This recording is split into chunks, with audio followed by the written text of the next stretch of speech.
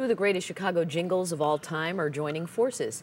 588 2300 Empire. Was I supposed to sing that? It didn't say that. No, no, Wait, I you're won't. not. 588 There we go. And how's this? 773 202. 773 202 Luna. They're all going to be merging, Larry. Ah, Do you see how I describe the story with my hands? this is great. just- Yeah, it's like we're on the campfire. Tell us more.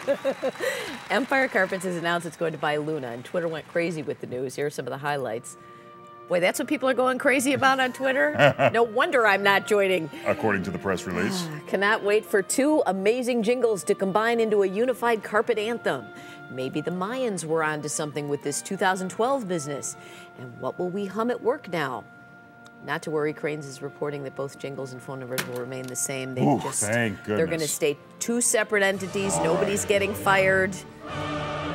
That was a really did you, The he has nothing to do with this, Aaron. Just